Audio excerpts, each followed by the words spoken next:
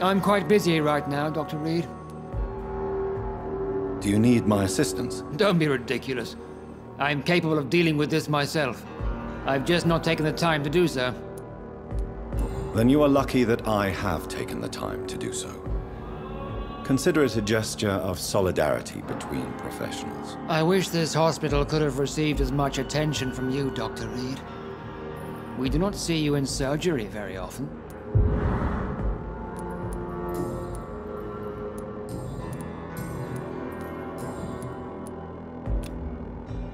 Thank you for your time.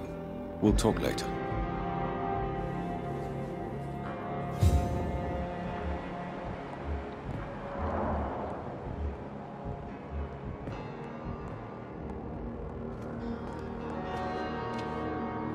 Good evening, Dr. Strickland. And good evening to you, Dr. Reid.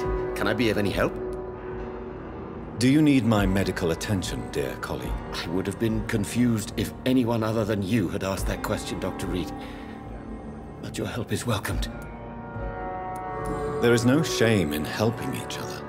We're colleagues, after all. Many doctors I have known are too cynical to think that way. Did you know Dr. Ackroyd never reported your experimental research, despite the fact he doesn't agree with it? Really? I didn't suspect he knew about my work. I must confess I am surprised. Perhaps he thinks you should realize for yourself the danger of what you're doing. See how condescending he can be? My god, he can be so irritating.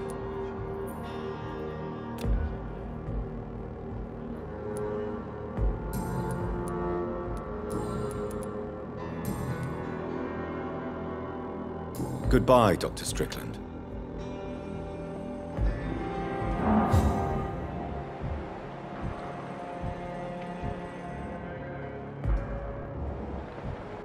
Will not let you down, my boy. Good evening, Mr. Fiddick. Good evening, Dr. Reid. Any news about my operation?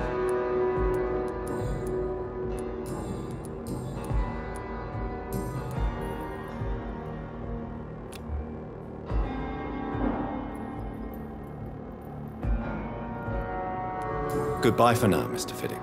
I'll see you later. My sweet girl. Reads me like a book.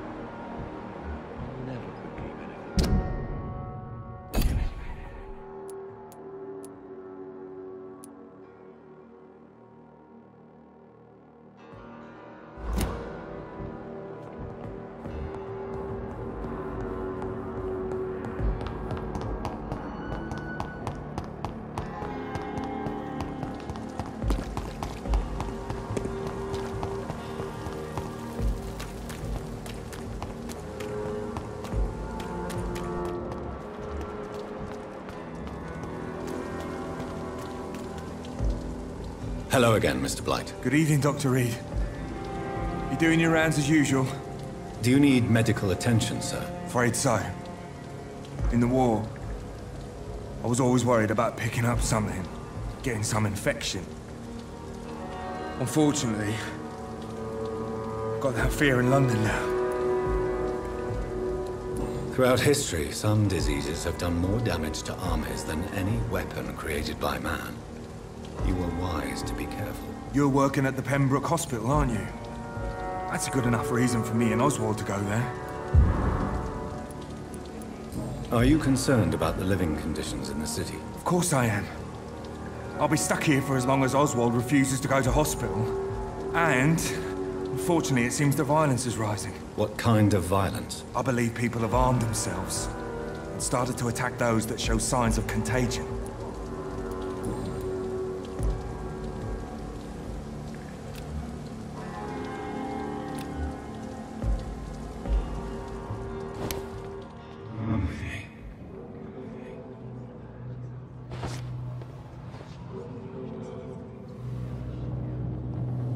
City is more peaceful without bombs, but no less dangerous.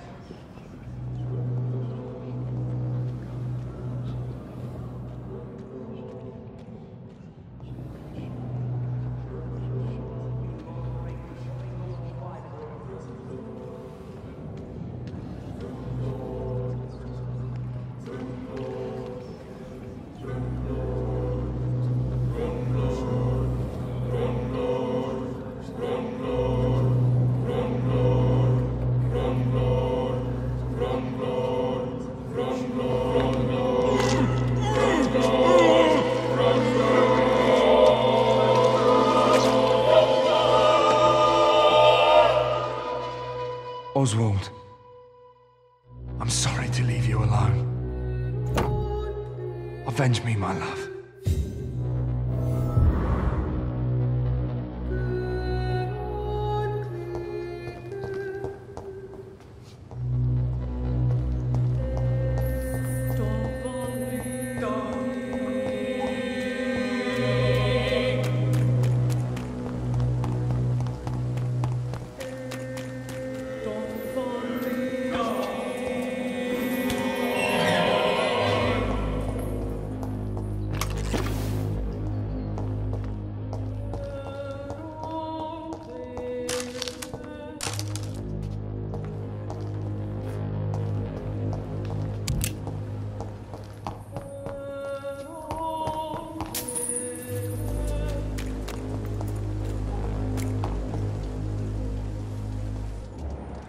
Is more peaceful without the bombs, but no less dangerous.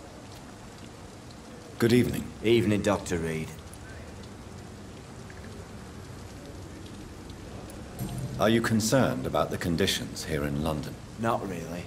Sick people, men in arms, fighting every night. I already faced all this during the war. Oswald, tell me about what happened when you were buried in that tunnel with Newton. It was more than dark. It was black as pitch.